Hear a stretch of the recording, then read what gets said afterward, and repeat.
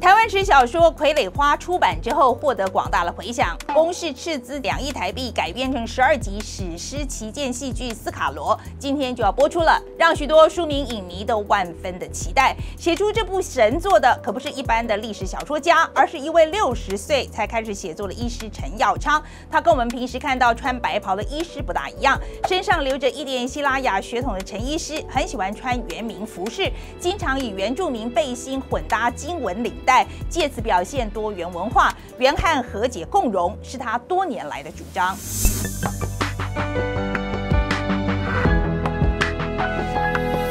大家好，我是范启飞，欢迎收看范启飞的 Today 看世界。该怎么形容《傀儡花》的作者陈耀昌医师呢？天生反骨，外加不务正业，应该说正副业都做得太好了。陈耀昌在一九四九年出生于台南府城医生世家，当年中华民国政府拨迁来台，开始了两蒋威权时代。在戒严下长大，陈医师却从小就很叛逆，知道报纸上写的都要反过来看，在学校绝口不提政治，是个标准的党外人士。当兵的时候被问到你要入党吗？但当时还有青年党、民社党，他就反问啊是要入哪一党啊？有够政治不正。正确的，后来当然就被长官叫出去特别关照了。台大医科毕业之后，陈耀昌就成为国内血液肿瘤科的名医。一九七八年，在因缘际会下远赴芝加哥，学到骨髓移植技术，就把所学外加仪器带回台湾来。一九八三年完成了台湾史上第一例自体骨髓移植手术，隔年又完成了首例异体骨髓移植。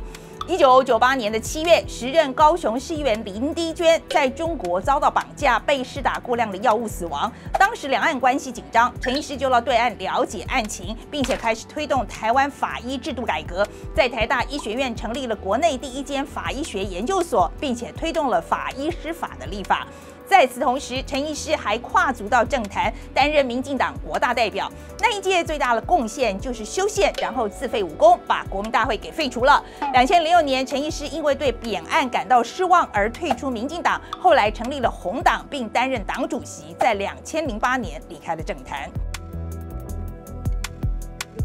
尽管不再涉入政治，但陈耀昌又帮自己找事情做。有一次，叔叔就告诉他，家族其实有个荷兰骂的祖先，引起他的好奇，一头就栽进了从小就热爱的台湾史领域。六十岁那一年，陈医师成了斜杠作家，开始撰写《福尔摩沙三足记》。这部作品描述十六岁荷兰少女来到福尔摩沙的经历，以及郑成功大军攻台及荷兰人交战的过程。本来只是想为荷兰骂的爱情故事留下一个记录，结果欲罢不能，写了一大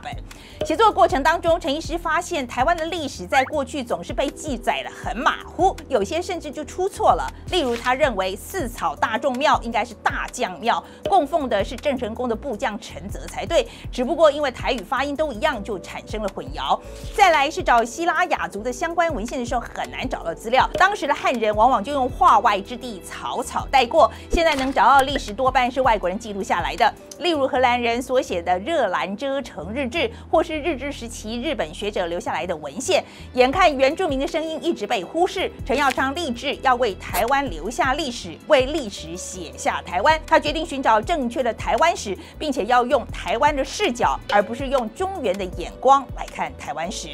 喜欢福尔摩沙三足迹，陈医师本来想要接着写一八七四年日本出兵攻打台湾南部原住民的牡丹社事件，但在考察过程当中发现屏东的荷兰公主庙里面所拜的恐怕不是荷兰公主，而是美国商船罗妹号的船长夫人梅西杭特。后来又刚好找到了英国《泰晤士报》当年刊登的一张图，交叉比对之下确定了先前的假设。结果陈医师手一滑就跑去写罗妹号事件了。二零一六年《傀儡花》就这么问世，陈医师。不止斜杠，还杠上开花，以《傀儡花》就获得了台湾文学奖图书类长篇小说的经典奖。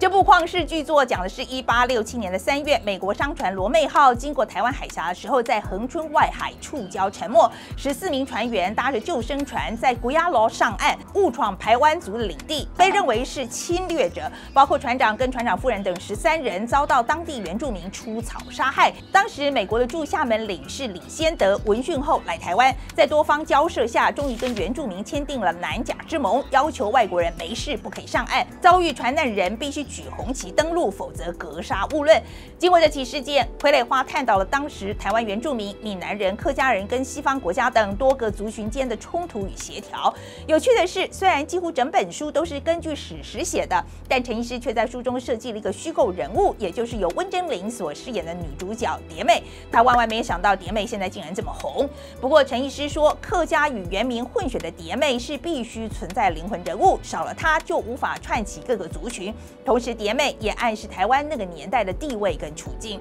至于台湾现在处境呢，虽然也是夹在美中之间，但陈医师也有自己的一番见解。他认为，当年移民刚刚抵达台湾不久，四大族群各自群聚，彼此来往不多。但如今有了第五族群新台湾之子，又透过族群融合，就如同唐凤政委在日本杂志专访中所说的，已经发展出台湾独特的多样文化以及彩虹史观了。就拿这一次东京奥运为例，陈医师认为，冬奥相当程度加深了台湾人的自我认同，而且台湾队选手当中有十三位是原住民，这也反映出原住民与所谓平地人之间的合作。几百年来，从各地来的移民已经融出独特的台系汉人，组成一个很混的社会，形成多元文化。同时，近年台湾人的意识抬头，加上一九九六年开始公民直选总统，这就是台湾人的台湾的开始。台湾的发展逐渐成熟，也让陈医师对于台湾的未来与前景乐观看待。虽然在族群融合的过程当中，某些文化会在碰撞中消失，但陈医师认为，至少平地人应该要去了解并且尊重原住民的历史，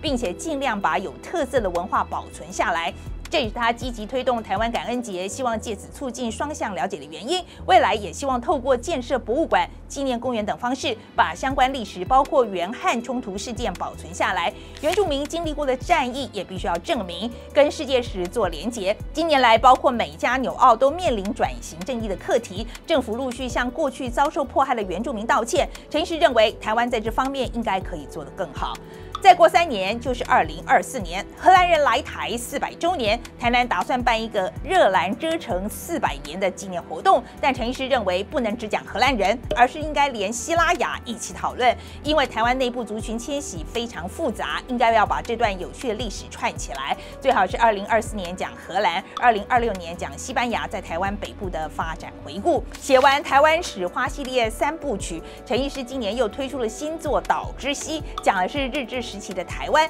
不过对于没能写出牡丹社事件，陈医师仍感到有些遗憾。由于这个议题非常的难处理，部落间对于事件的态度也很两极，因此需要透过一个角色来贯穿整个故事。陈医师后来发现，最佳人选其实就是李先德的向导米娅。对于米娅的真实身份，陈医师还在努力考证当中，未来很有机会成为他笔下的另一位主角。这些年来，为了厘清小说中的细节，陈医师简直快把平峨公路台二十六线踏到脱皮了。但是写书十二年下来，他看到由于自己的努力，替台湾史补上了好几块拼图，这些辛苦就全部都值得了。你如果喜欢这个节目，赶快分享给更多人看见。你也可以订阅 Light Today 官方账号，他就每天把重要的新闻，包括这个节目推送到你的手机里。万一错过了，到 Light Today 国际栏目里面就我们所有的。报道，范启伟的《天天看世界》，天天为你精选一则国际话题，带你快速秒懂世界大事。明天是凯莉的人物放大镜，我们周一见。